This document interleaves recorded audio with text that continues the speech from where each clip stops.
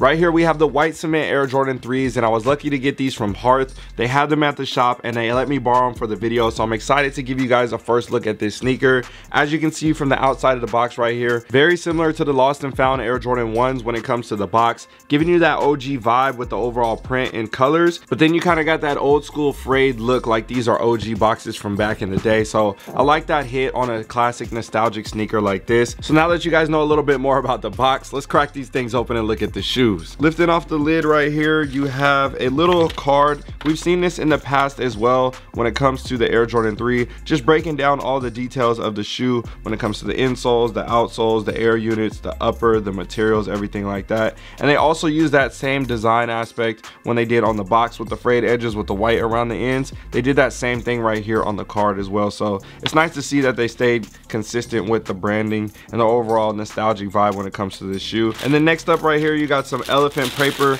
and then you got the shoe. Oh, you got the shoe. So this shoe right here in particular is probably one of the hottest sneakers to ever come out. One of the most iconic, nostalgic sneakers out there in the game and potentially the sneaker that kept Jordan Brand alive. When we talk about him wearing these, jumping from the free throw line in the dunk contest and all the iconic moments back in 1988, it was crazy to think how this shoe had made such a staple in the game then and is still today in current time considered to be one of the greatest shoes of all time. And don't worry, we'll have a bigger history lesson and detailed comparisons when we talk about the previous retros from the past. So we'll make sure we get in that in a full review video. Right now, I just want to give you guys a quick early look at the shoe, the materials, the cuts, the overall just vibe of the sneaker because these definitely have more of a vintage look to them similar to the lost and found like we just talked about. So starting with the bottom of the shoe like we always do as you can see right here you got your classic air jordan 3 bottom and we know on all og air jordan 1s they had the nike branding compared to the jordan branding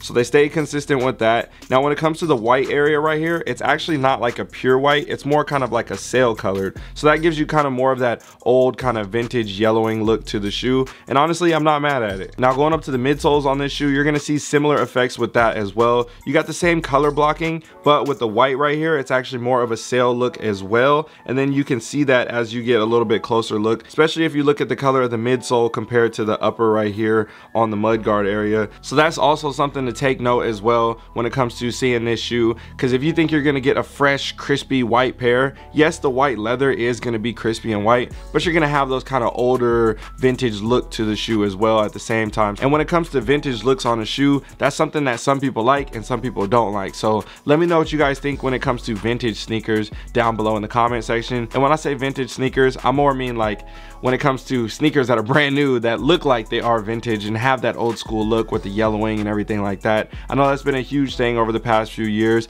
and it looks like they're continuing to stay with that theme, especially on an OG model like this. Now going up to the upper, one thing that I really love about this is they stayed consistent with the cut of the sneaker. So if you have the fire red threes or some of the newer retro Air Jordan 3s and you see the cut of the tongue or the toe box or it's a lot more slim and the overall cut and shape of the elephant print on the back back end and different things like that. The height the padding on the back end right here around the ankle area all these things are very very similar to the fire red 3 so that's going to be something that you will see that's like okay that's very similar. Now one thing i did notice is on these the jumpman is a little bit smaller than the fire red 3 which again we'll get into in the comparison videos in the future. But at the end of the day i think when it comes to recreating the air jordan 3 from 1988 to current time now and re-bringing that back with the new tech and the materials and everything that we have in current time i think they did a really really good job. And honestly this is potentially one of the best best retros that we could have ever seen come out so far when it comes to retro iterations,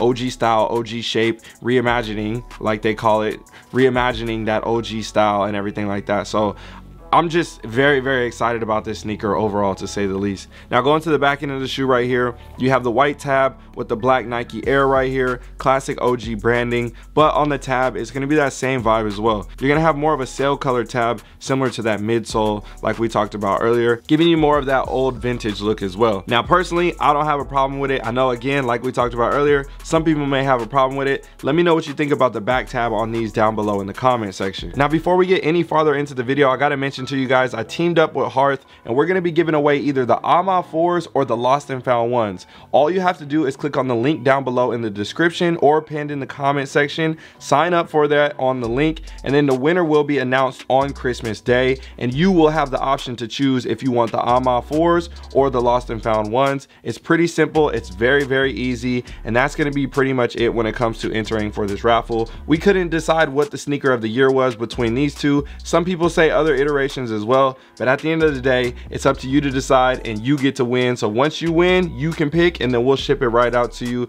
in your size. So good luck to everybody. Hit that link down below and let's continue on with this video. So now taking into more aspects of this sneaker that I really love, you got that OG hang tag right here, giving you the Nike Air branding with the orange tag. And then on the inside of the insoles right here, red insole, black Nike Air right there. Back into the tongue, you got the red hit right here. And overall, this is just a very very clean shoe. I think they did a really good job when it comes to the elephant print as well on these.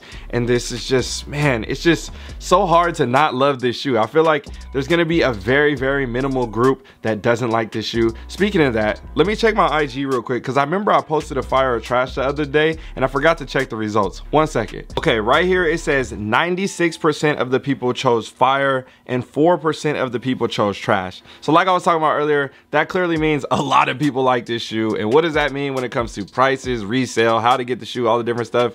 It's naturally just gonna be a demand behind the sneaker and you can understand why classic, nostalgic, iconic, OG colorway, you name it. You know, it just checks all the things on the list. This is gonna be a very, very dope shoe that a lot of people love and want to go after. So with all that being said, I'm gonna make sure that I get you guys a how to cop video, more in-depth looks, talk about the classic, just the history of this shoe. And I'm gonna try to get a couple interviews with a couple people when it comes to this and let me hear their story when it comes to this shoe as well. So stay tuned. I appreciate you guys as always. Again, don't forget to enter the raffle. It's very, very simple. I'll see you guys in another one one. All right, y'all. I'm out.